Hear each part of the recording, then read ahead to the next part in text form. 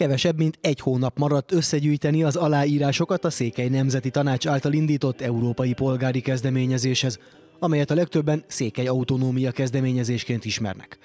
A nemzeti régióknak közvetlen uniós támogatást kérő petíciót eddig már több mint egy millióan aláírták, Magyarországról csak nem 800 ezren. Ezzel megvan az elvárt támogatás szám. Azonban ahhoz, hogy az Európai Bizottság napirendre vegye a kérdést, legalább hét tagállamban kellene begyűjteni a minimálisan meghatározott számú szavazatot. Ezt eddig csak három ország teljesítette, a kezdeményezők ezért aktív hajrára készülnek. A maradék négy hétben elsősorban social media kampányt folytatunk, azt is azzal a szisztémával, amivel tavasszal azt a bizonyos egymillió aláírást néhány hét alatt megcsináltuk.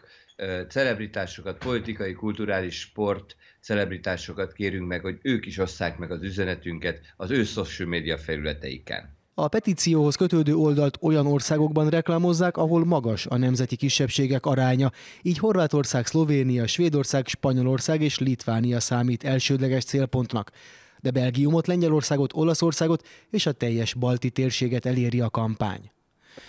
A kezdeményezés szervezői bizakodók szerintük sikerül legalább további négy tagállamban összegyűjteni a hiányzó aláírásokat.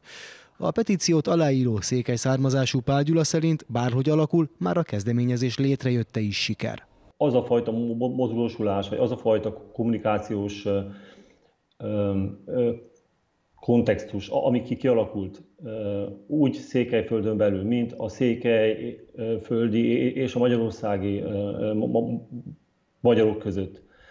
Ez egy, ez, ez, ez egy olyan nyereség, amire, amire, amire lehet építeni. Az Európai Nemzeti Régiók közvetlen támogatását kezdeményező petíciót november 7-éig lehet aláírni.